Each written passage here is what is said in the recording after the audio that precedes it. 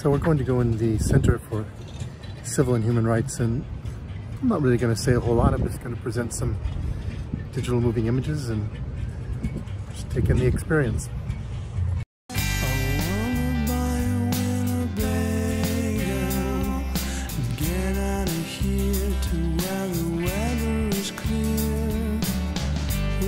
some coffee.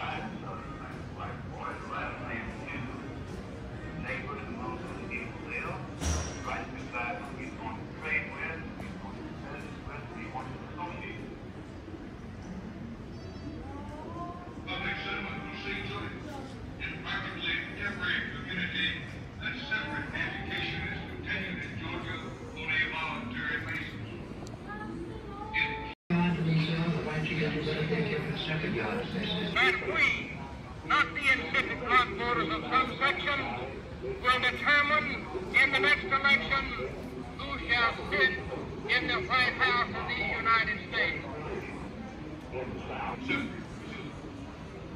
we can preserve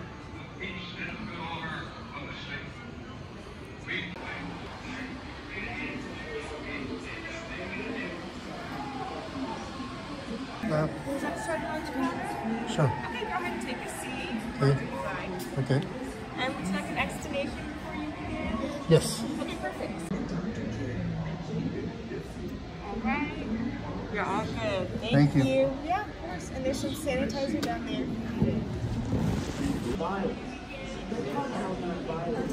protect themselves when attacked. I just did that. That was very intense. Refused to transport them any further. I had very mixed feelings. I'd learned to be afraid overnight. I was no longer this fearless rider. Police Commissioner Bull Connor had driven back to the Tennessee border late Thursday night. They vowed they would return. And within a day, they did. Governor Patterson assured John Siegenthaler that Alabama's Highway Patrol would protect the Freedom Riders. But Governor Patterson's promises soon proved illusory. When the buses arrived in Montgomery, they were met by a mob. Before police could break up the crowd, at least 20 people have been beaten and injured.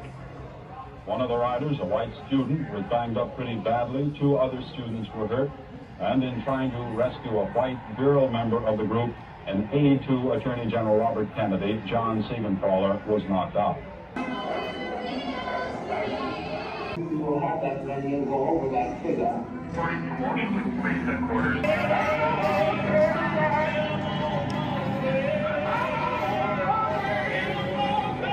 I just can't comprehend why people must die to achieve something so basic and simple as freedom.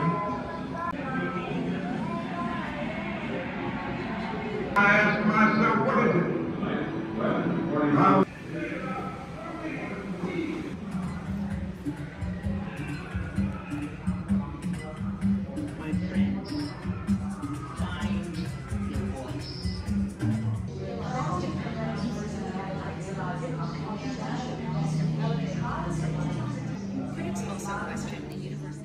Well, this museum is a powerfully and masterfully put together experience.